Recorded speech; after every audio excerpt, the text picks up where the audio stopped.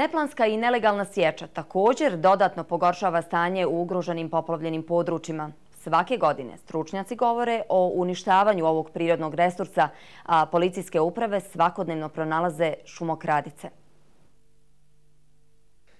U velikim policijskim akcijama na području općine Ilijaš u protekloj godini otkriveno je desetine nelegalnih objekata za sječu šume. Akcije će biti nastavljene.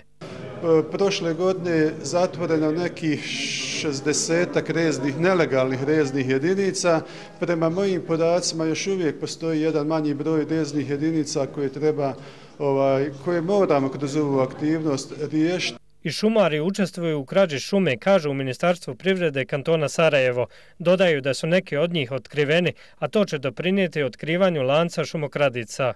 Mi smo najme već uručili sedam otkaza našim šumarima i tu nismo e, dobro namjerni, jer čak su i oni se uključili u krađe.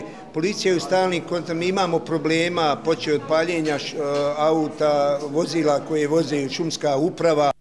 U općini Hadžići kažu da lokalne zajednice nemaju nadležnosti kako bi uspješno rješavale ove probleme. Što u nas kažu na lokalnom nivou, šumu treba najviše čuvati od šumara. Bosna i Hercegovina, Rumunija i Bugarska, evropski su rekorderi po stepenu ilegalne sječe šume, navela je francuska agencija France Press u svom izvještaju početkom godine. Istakli su i da godišnje stotine hiljada stabala bude ilegalno posjećeno u Bosni i Hercegovini.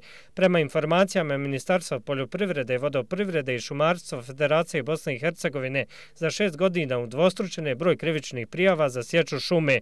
Tako je samo u 2012. godini pokrenuto 3270 79 prekršajnih i 2567 krivičnih prijava.